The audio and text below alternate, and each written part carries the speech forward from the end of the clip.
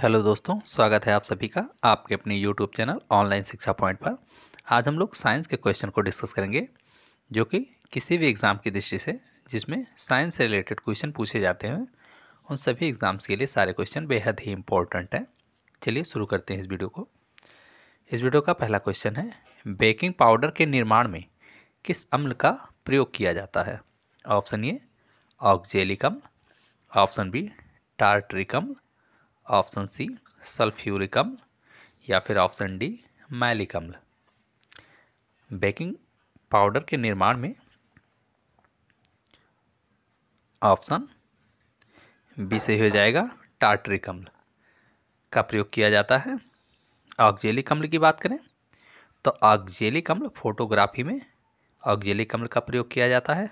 Sulphuric अम्ल की बात करें तो रसायन उद्योग में तेजाब के रूप में सल्फ्यूरिक अम्ल का प्रयोग किया जाता है। मैलिक अम्ल, ये सेब में पाया जाता है। अगला क्वेश्चन कृत्रिम वर्षा कराने के लिए निम्न में से किसका प्रयोग किया जाता है? Option A, sodium chloride. Option B, sodium hydroxide. Option C, silver. Iodide, option D, sodium bicarbonate. कृत्रिम वर्षा कराने के लिए ऑप्शन सी, सिल्वर आयोडाइड का प्रयोग किया जाता है।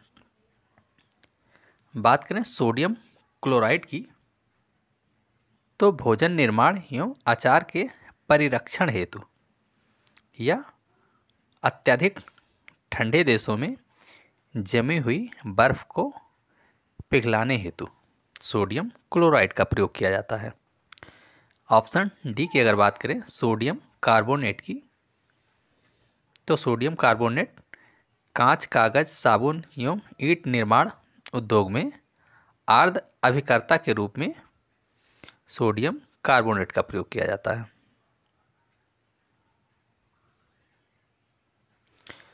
अगला क्वेश्चन दूध का पीएच मान कितना होता है? Option A, six. Option B, six point four. Option C, seven point four. Option D, eight point four. यहाँ पर आंसर से हो जाएगा। दूध का पीएच दूध का पीएच मान सिक्स पॉइंट फोर होता है। जबकि अगर ऑप्शन ये सिक्स की बात कर लें तो मूत्र का पीएच मान सिक्स होता है। जबकि 7.4 ये रक्त का पीएच मान होता है और 8.4 ये समुद्री जल का पीएच मान होता है।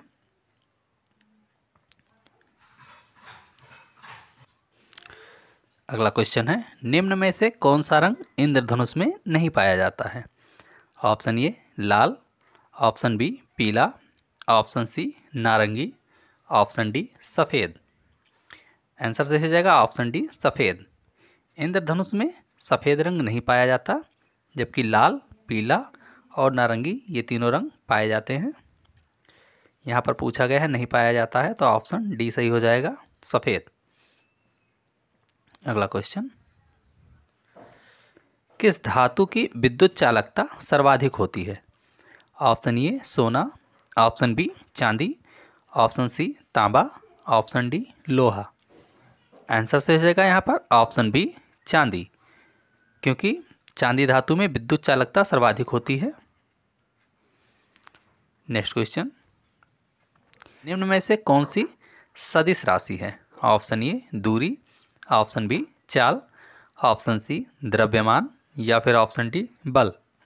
यहाँ पर आंसर से हो जाएगा, ऑप्शन डी, बल। ये सदिश राशि है, जबकि दूरी, चाल और द्रव्यमान, ये तीनों अदिश राशि है। तो यहाँ पर पूछा गया है कौन सी सदिश राशि है? तो आंसर डी, बल हो जाएगा। तो दोस्तों, ये वीडियो कैसा लगा? कमेंट बॉक्स में ज़रूर बताएँ। अगर वीडियो अच्छा लगा तो इसे लाइक करें, शेयर करें और इस चैनल को सब्सक्राइब करें। धन्यवाद।